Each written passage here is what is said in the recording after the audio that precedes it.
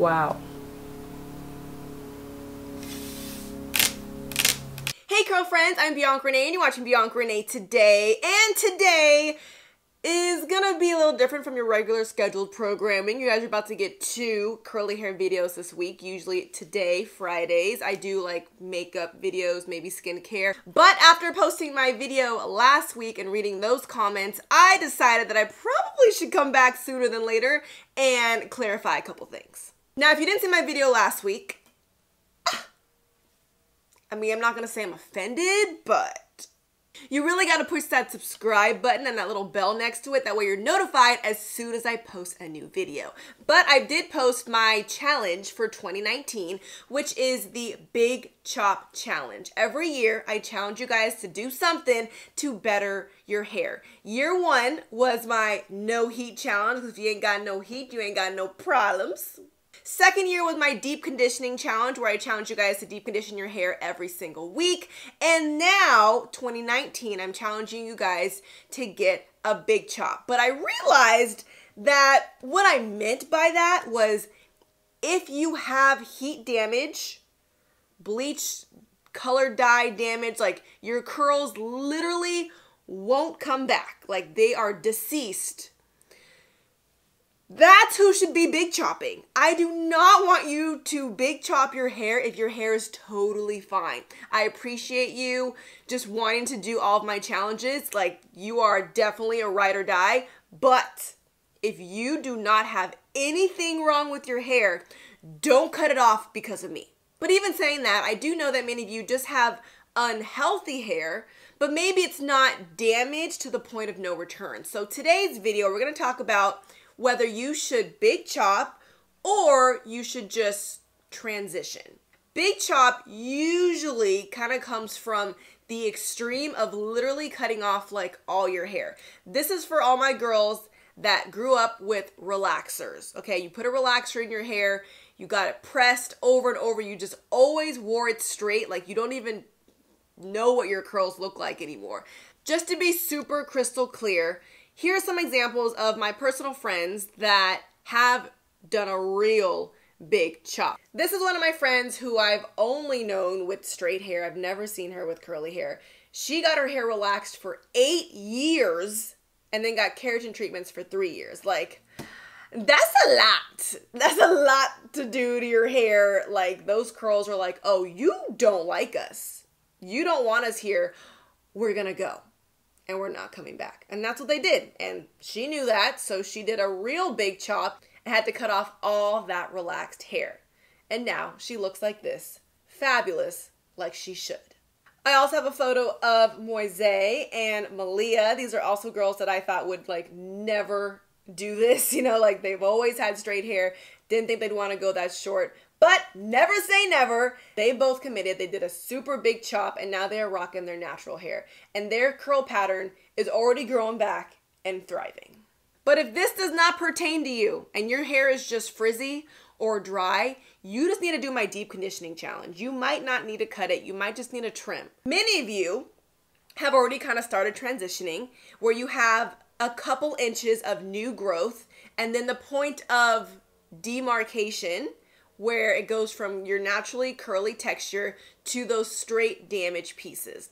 That could still be considered a big chop, but it could also just be a haircut depending on the length of your new growth. For example, if your hair looks like this, you see that new growth at the top where it's curly and then those definite straight damaged pieces. Those straight damaged pieces are not gonna look as good as your new growth. That's the part you have to cut off. So at that point between the new growth and the damaged hair, that's where you need to cut.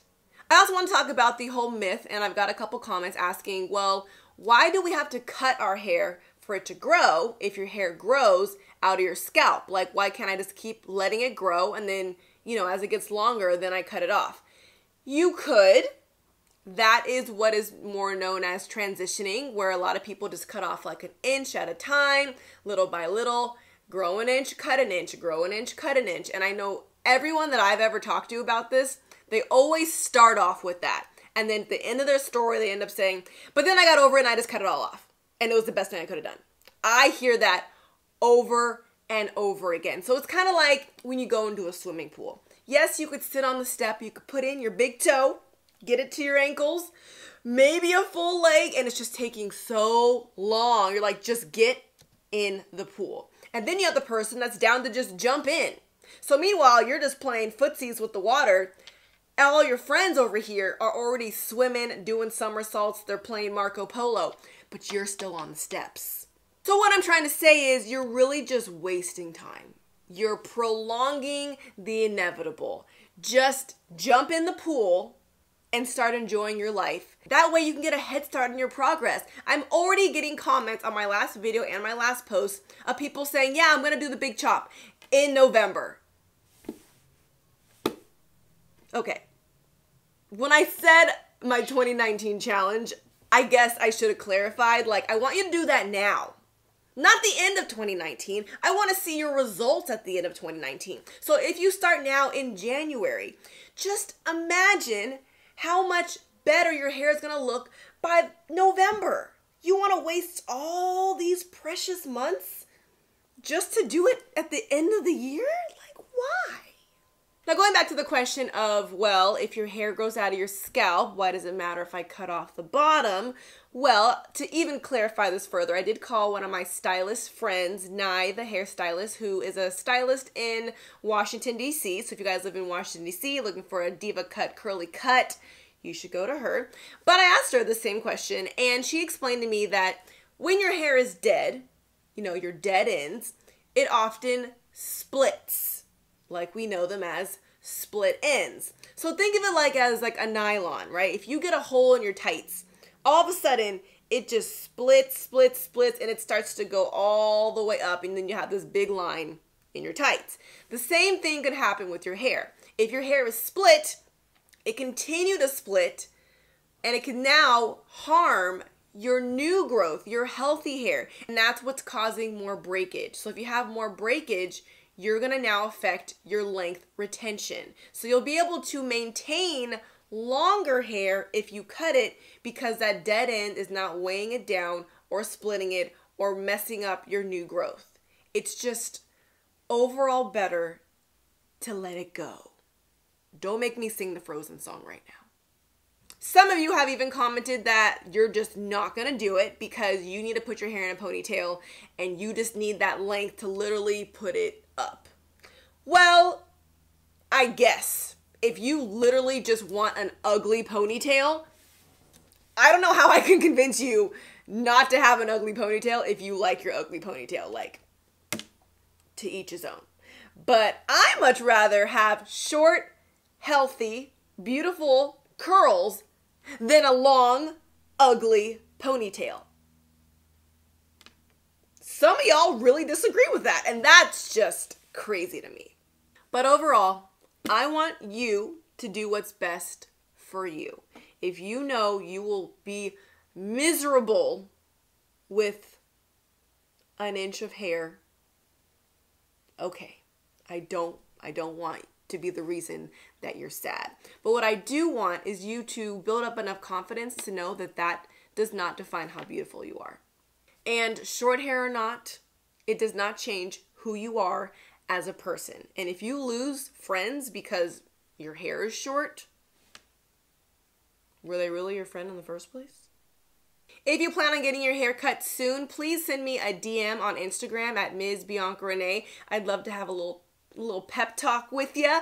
And if you could have someone go with you to film it, that would be amazing. I'd love for you to get footage horizontally, like on your phone or your camera, and then you could send it to me because I want to see the whole process. Feel free to tell me how you feel before, during, after.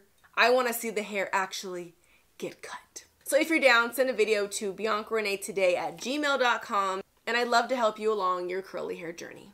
I know I said a couple things in this video that's definitely going to offend some of you watching. I hope you understand that that is not the purpose of this video. I hope you understand that I'm coming from a good place. I just want to help you get to your curly hair goals faster. And if you understand that, please give me a thumbs up and subscribe and make sure to push that bell so you don't miss any more of my videos. I post new videos every Friday and Sunday. You also can follow me on Twitter, Instagram, and Snapchat at Ms. Bianca Renee. I'll see you guys next time. Thanks for watching Bianca Renee today.